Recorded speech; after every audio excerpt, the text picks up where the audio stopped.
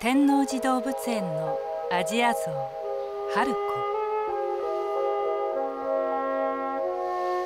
立っているのがやっとでした。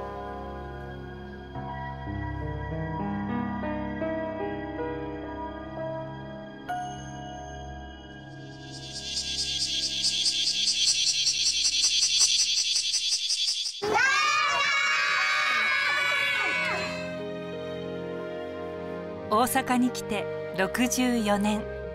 愛され続けた春子。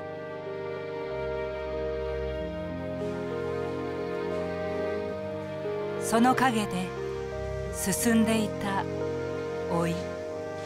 春子おばあちゃん特に手首がきついようなんです。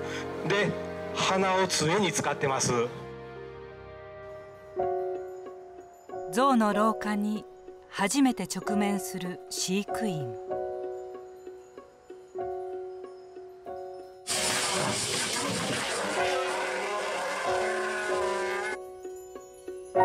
動物園の裏側で起きたさまざまな事態。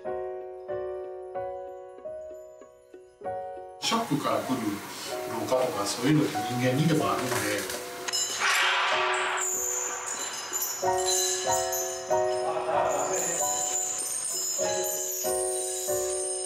春子が一旦もう体力落ちたりとかしたらもう多分取り戻されへんやろということ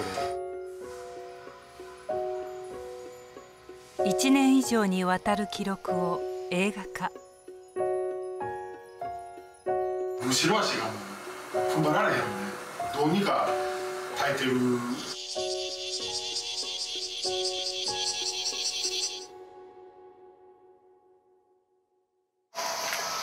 そして春子は。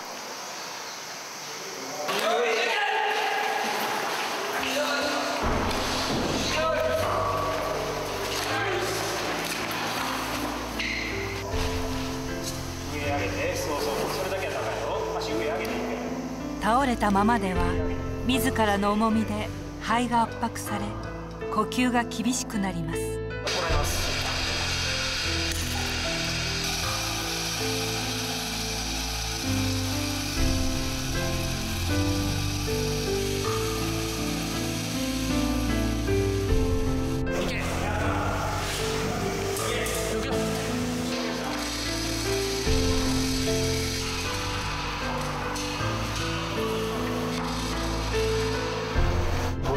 つきがあるかないかですね。